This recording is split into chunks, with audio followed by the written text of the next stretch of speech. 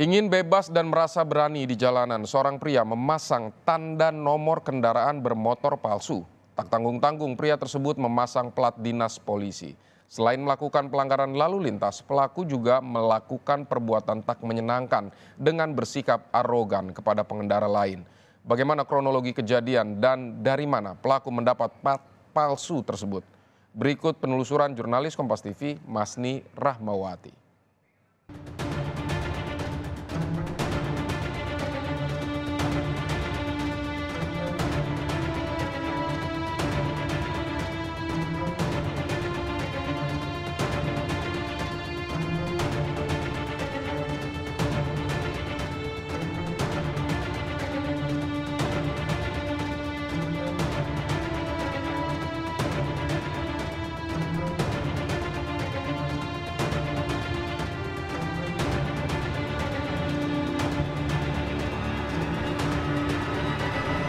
Senin tanggal 16 Oktober 2023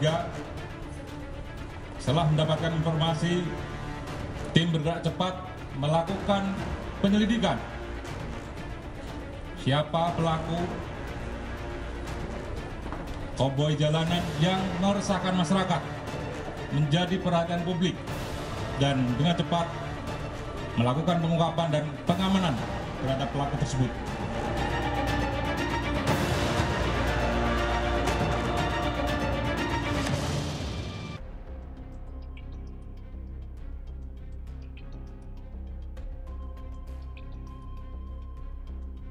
Viral di media sosial aksi arogan pengemudi SUV hitam di jalan raya. Tepat di Jalan Penjaringan, Jakarta Utara, keributan terjadi. Pelaku berhenti di depan mobil korban, memulai percekcokan dan melakukan pengancaman.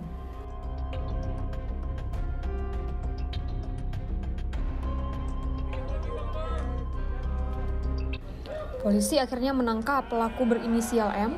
Selain karena onar, plat nomor kendaraan pelaku juga terbukti palsu. Berkembangnya teknologi berkembang juga tindak kejahatan yang terjadi. Penegak hukum pun melakukan berbagai cara untuk mengatasinya. Seperti kasus pada pengendara mobil yang menggunakan tanda nomor kendaraan palsu. Sang pelaku ini memesan tanda nomor kendaraan palsu di e-commerce dan akhirnya berujung pada perbuatan tak menyenangkan terhadap orang lain. Kasubdit Jatantras Polda Metro Jaya menyebutkan alasan pelaku menggunakan plat dinas Polri palsu supaya aman saat berkendara. Usai viral, pelaku bahkan sempat mencoba menghilangkan jejak plat dinas Polri palsu tersebut. Pada video viral itu tentunya korban ataupun masyarakat yang melihat video viral itu melihat itu adalah plat dinas. Ya. Dari plat dinas itulah akhirnya viral ada mobil jalanan menggunakan plat dinas polisi yang melakukan intimidasi seperti itu. Kemudian dengan cepat 24 jam kita lakukan penyelidikan dan kita bisa ungkap siapa pemilik kendaraan dengan plat dinas tersebut. Dan ternyata kita dapatkan bahwasanya plat dinas yang dipakai adalah plat dinas yang bukan asli atau palsu. Untuk proses penang penangkapan pelaku ini sendiri kayak gimana prosesnya Pak? Karena pada saat itu ada iring-iringan mobil Fortuner yang dikendarai pelaku dengan mobil lainnya. Nah, dari mobil lainnya ini yang platnya plat asli. Nah, dari situ kita dapatkan data, dari data itu kemudian kita uh, lakukan konfirmasi pada orang itu dan akhirnya kita dapat informasi yang sebenarnya siapa yang mengendarai kendaraan Fortuner dengan plat dinas palsu itu. Oke. Setelah ditangkap gitu Pak, apakah si pelaku ini sempat membuang atau menukar platnya Pak? Setelah mengetahui adanya videonya viral, ya, viral terkait dengan mobil Fortuner dengan plat palsu, maka pelaku mencoba untuk menghapus atau merusak plat tersebut dengan thinner, kemudian dengan obeng, menggesek. Namun ada pertinggalan yang masih terlihat. Kemudian juga pada saat proses penghapusan itu juga record di dalam CCTV yang sudah kita amankan juga. Oke. AKBP Samian menyebutkan pelaku mendapatkan plat dinas Polri palsu tersebut dari situs belanja online. Pelaku memesan dengan mencantumkan nomor acak dan membayarnya beberapa ratus ribu rupiah. Pelaku sendiri sudah menggunakan plat dinas Polri palsu selama sebulan. Pelaku berdalih mobilnya belum mendapatkan tanda nomor kendaraan bermotor. Nah, e, untuk pelaku sendiri itu mendapatkannya dari mana ya Pak ya? Katanya katanya dari marketplace gitu ya Pak? Pelaku membeli mobil baru, hmm. kemudian saat itu tanda nomor kendaraan bermotornya belum keluar, hmm. sehingga untuk keamanan di jalan, maka pelaku punya motif ya, punya motif untuk memesan plat nomor dinas, ya untuk pesan plat nomor dinas itu dari marketplace online kemudian setelah melakukan pemesanan membayar sejumlah 500 ribu kemudian plat itu dikirim ya.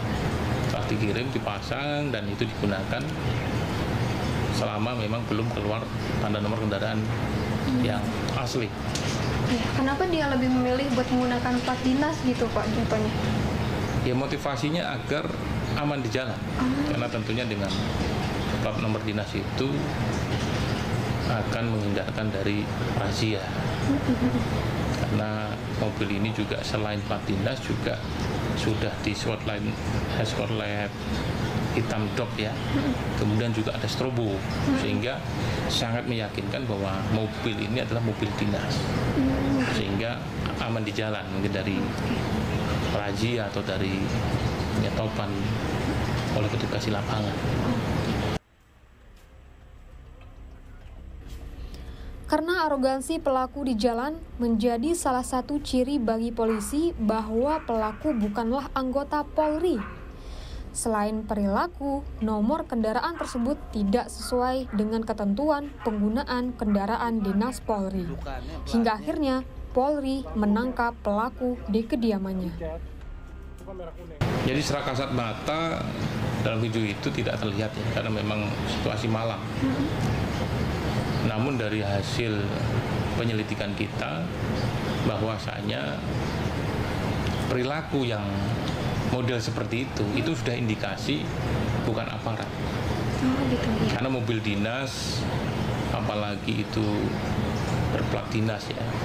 Tentunya penggunaannya pasti juga ada aturannya sehingga dengan penggunaan yang seperti arogan di jalanan seperti koboi jalanan tentunya itu sudah indikasi awal ya indikasi awal sehingga dengan dasar indikasi awal itulah kita melakukan penyelidikan dan ternyata kita dapatkan informasi, data, kemudian siapa yang mengendarai dan kita uh, mendapatkan fakta bahwasanya memang yang bersangkutan bukan anggota baik dari Polri atau dinas apa pun. Berbicara mengenai plat nomor kendaraan, tak asing dengan jasa pembuatan plat yang biasa ditemui di pinggir jalan. Kami mencoba mewawancarai salah seorang pemilik usaha plat di daerah Jakarta Barat. Udin Penjual plat mengaku dirinya merasa takut dan enggan menerima pesanan jika nomor kendaraan yang dibuatkan berbeda dengan surat tanda nomor kendaraan. Udin menjelaskan, permintaan pembuatan plat kendaraan harus sesuai dengan STNK. Nah, untuk pembuatannya ini sendiri tuh gimana Pak? Bapak misalnya nih ada yang datang gitu kan, terus Bapak tanya STNK-nya apa gimana Pak? Uh, paling kita dia nanya SNK gitu ya. Uh, kita nanya apa ya? SNK mana ya mau ini? Oh ada. Bisa lihat. Oh, sama ya apa? Tidak berani tuh sama. Kalau udah sama nggak berani kita gitu doang. Iya. Yeah. Kalau untuk pembuatannya ini sendiri gitu mungkin ada perbedaannya apa gimana gitu ada bedanya dengan uh, apa sih plat-plat motor atau mobil biasa? Yang asli gitu. Yang asli. Nah, model asli nggak mirip. Pokoknya asal ini aja. Aja kataan, oh sama ya udah. Kalau sampai mirip banget dia kan pakai mesin boda tuh. Di press. Kalau kita pakai palu ketok. Jauh. Iya, itu dong bedanya.